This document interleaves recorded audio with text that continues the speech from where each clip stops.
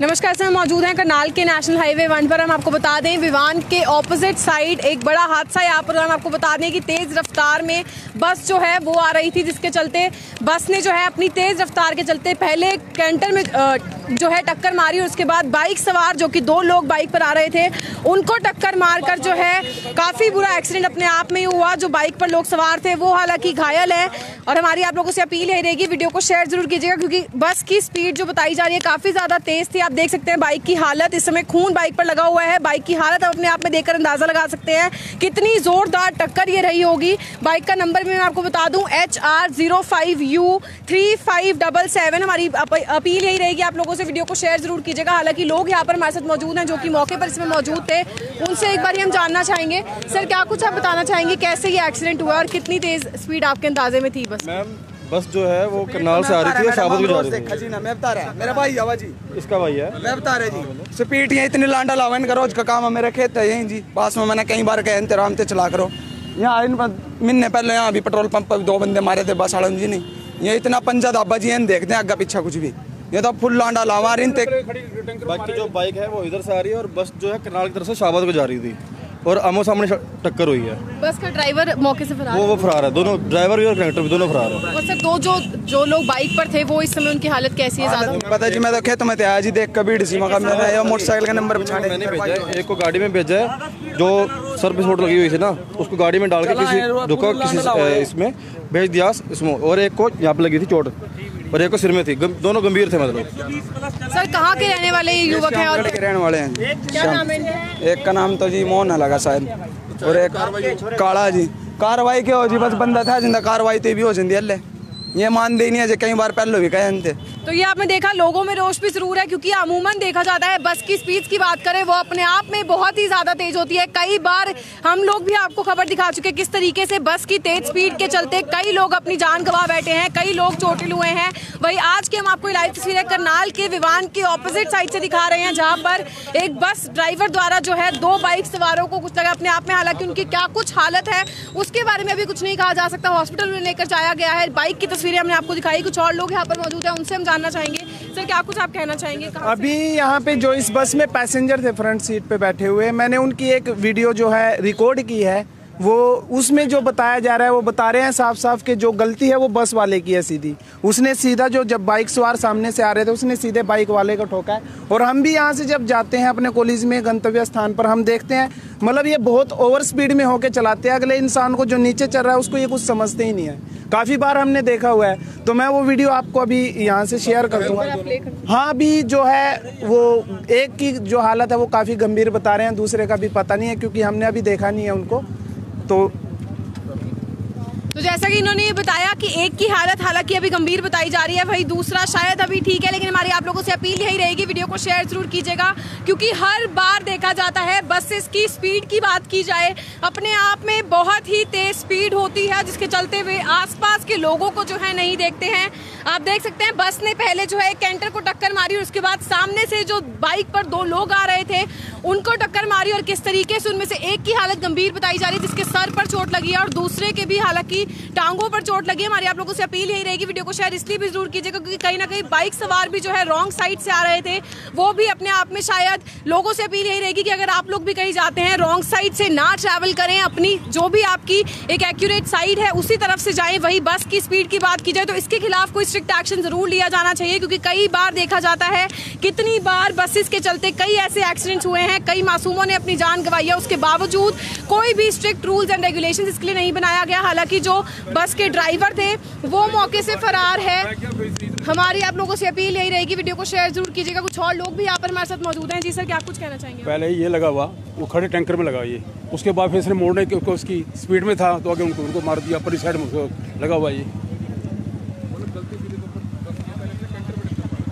जैसा कि हमें सर ने बताया, सीधे तौर पर इसमें गलती जो है, वो बस ड्राइवर की ही है, क्योंकि काफ़ी ज़्यादा तेज स्पीड में जो है ये बस आ रही थी। पहले उसने खड़े टैंकर पर जो है टक्कर मारी, उसके बाद जैसे ही उसने टर्न लेना चाहा तो सामने से बाइक आ रही थी, और क्योंकि बस की स्पीड काफ़ी ज़्यादा तेज थी तो उसमें जो बाइक सवार जो थे उनको काफ़ी ज़्यादा चोटें ज़रूर आई है। एक की कंडीशन सीरियस बताई जा रही है, वही दूसरे की, हालाँकि जैसा कि लोगों ने बताया कि वो शायद ठीक है, हमारी आप लोगों से अपील यही रहेगी वीडियो को शेयर ज़रूर कीजिएगा ताकि प्रशासन तक ये खबर पहुँच सके।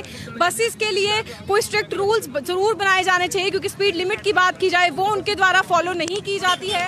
तो ज़्यादा से ज़्यादा इस वीडियो को शेयर ज़रूर कीजिएगा। आगे की खबर आपको मेरी सहयोगी नीरा माटा बताएँगे।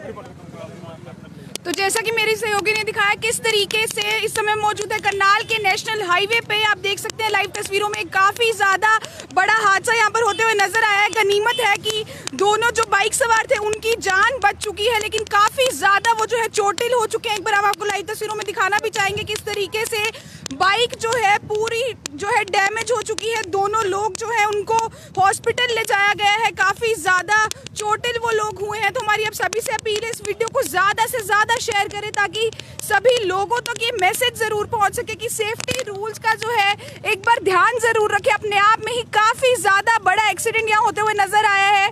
एक बार मैं आपको लाइव तस्वीरों में नीचे रोड पर भी दिखाना चाहूँगी किस तरीके से खून खून यहाँ पर बिखरा हुआ पड़ा है। दोनों को, दो जो बाइक सवार थे, उन दोनों को ही काफ़ी ज़्यादा चोटें आई हैं। अपने आप में ही काफ़ी बड़ा मामला ज़रूर ये है। कुछ लोगों से भी एक बार हम बातचीत करने की कोशिश करेंगे। जो लोग यहाँ पर मौके पर मौजूद थे, एक बार उनसे पूछेंगे कि वो क्या कुछ कहना चाहेंगे। जी सर, क्या कुछ कहना चाहेंगे? आप यहाँ पर मौजूद थे उस समय। साफ़ साफ़ बताया जा रहा है कि बस वाले की गलती है, इसमें और किसी की कोई गलती नहीं है। जो इसमें पैसेंजर है, सभी ने यही बात बोली है। जो भी हमने सुना है यहाँ से, जिससे भी, सभी ने साफ़ साफ़ बोला कि ओवर स्पीड पे हमारी बस आ रही थी, और जो साफ़ साफ़ गलती है, वो बस वाले की गलती है।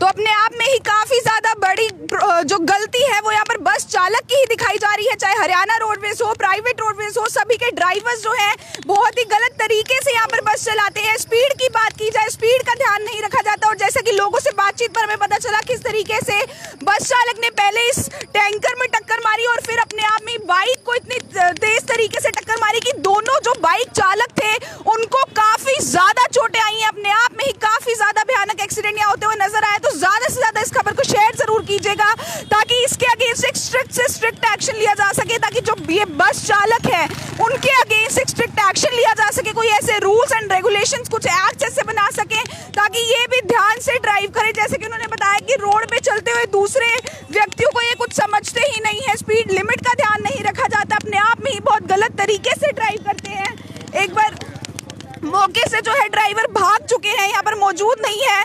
टक्कर मार के यहाँ से जा चुके और सभी बस चालकों ने भी यही बताया किस तरीके से ड्राइवर की यहाँ पर पूरी गलती नज़र आ रही है। एक बार फिर से मैं आपको लाइव तस्वीरों में दिखाना चाहूँगी बाइक की हालत किस तरीके से पूरी जो बाइक है, वो यहाँ पर डैमेज हो चुकी है। अपने आप में ही काफ़ी ज़्यादा बड़ा हादसा होते हुए यहाँ नज़र आया है। मेरी सहयोगी विभूति मेरे साथ है, उनसे जानना चाहूँगी। जी विभूति, क्या कुछ कहना चाहेंगे? रोड एक्सीडेंट्स काफ़ी ज़्यादा बढ़ते हुए नज़र आ रहे हैं। तो ये जो रोड एक्सीडेंट है, इस वक्त विवान के ऑपोजिट साइड हुआ है, जहाँ पर एक बस ने बाइक को बहुत गंभीर हालत से मतलब टक्कर मारी है। और ये इसमें गलती सिर्फ़ और सिर्फ़ बस ड्राइवर की है, क्योंकि वो बहुत स्पीड में गाड़ी चला रहा था। और वो लोग जो हैं, वो रोड रोड पे जो लोग चलते हैं या बाइक चलाते हैं या नॉर्मल व्हीकल्स को वो देखते नहीं हैं, क्योंकि नज़र भी नहीं आता शायद इतनी ऊपर से। तो उनको बहुत लिमिट में अपनी स्पीड रखनी चाहिए और इसके लिए कुछ ऐसी चीज़ें करनी चाहिए कि जो बस ड्राइवर्स हैं वो अपनी स्पीड लिमिट में ही चलें। तो जैसा कि बस में बैठी सवारियों ने भी बताया किस तरीके से जो बस ड्राइवर्स है, चाहे हरियाणा रोडवेज़ हो प्राइवेट रोडवेज़ हो, बाकी व्हीकल्स को नजरअंदाज किया जाता है और स्पीड लिमिट का ध्यान नहीं रखा जाता और उसी के कारण रोड एक्सीडेंट्स की जो संख्या है अपने आप में ही काफ़ी ज़्यादा बढ़ती हुई नज़र आ रही है कुछ और लोगों से हम बातचीत करने की कोशिश करेंगे जी सर चाहेंगे रोड एक्सीडेंट्स वैसे जनरली पूछ रही हूँ सर रोड एक्सीडेंट्स काफ़ी ज़्यादा तो जैसा कि पहले भी लोगों ने हमें बताया किस तरीके से ड्राइवर की यहाँ पर काफ़ी ज़्यादा गलती नज़र आ रही है और वो मौके से भी यहाँ से फरार हो चुका है तो ज़्यादा से खबर को शेयर ज़रूर कीजिए ताकि एक सबक ज़रूर मिल सके उस ड्राइवर को। जितने भी ड्राइवर्स हैं, पहले भी करनाल ब्रेकिंग न्यूज़ की टीम आपको काफ़ी ज़्यादा ऐसी एक्सीडेंट्स दिखा चुकी है, जिसमें ज़्यादातर गलती जो है हरियाणा रोडवेज़ के जो ड्राइवर्स होते हैं, उनकी होती है। तो ज़्यादा से ज़्यादा खबर को शेयर ज़रूर कीजिए ताकि सब तक ये मैसेज पहुँच सके, प्रशासन तक ये मैसेज पहुँच सके और जल्द से जल्द इसके अगेंस्ट एक स्टेप लिया जा सके।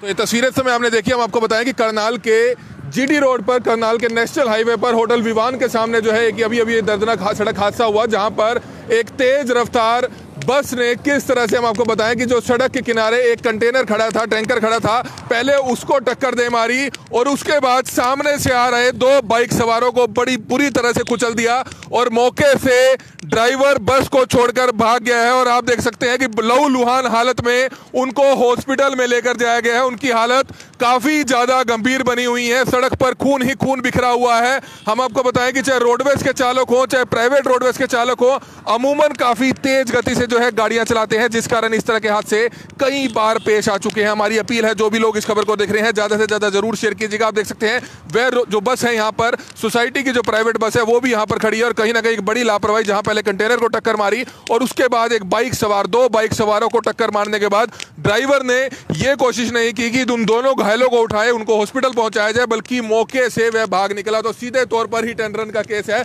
एक बड़ी से बड़ी कार्रवाई ऐसे चालकों के खिलाफ निश्चित तौर पर होनी चाहिए। चाहे हरियाणा रोडवेज़ के चालक हो, चाहे प्राइवेट रोडवेज़ के चालक हो, अमूमन इस तरह की बड़ी लापरवाही करते हैं और सड़क हादसों को अंजाम देते हैं। और किस तरह से दो लोगों को कुचलने के बाद वह मौके से यहाँ से बस छोड़कर भाग निकला है, लोगों में काफ़ी ज़्यादा गुस्सा था, जिससे डरकर वह मौके से भाग निकला है। और हमारी अपील है, जितने भी लोग इस खबर को देख रहे हैं, ज़्यादा से ज़्यादा ज़रूर शेयर कीजिएगा और ऐसे ड्राइवरों के खिलाफ, ऐसे आरोपी ड्राइवरों के खिलाफ निश्चित तौर पर सख्त से सख्त कार्रवाई पुलिस प्रशासन को करनी चाहिए। Kamal Midda, Karnal breaking news, Karnal.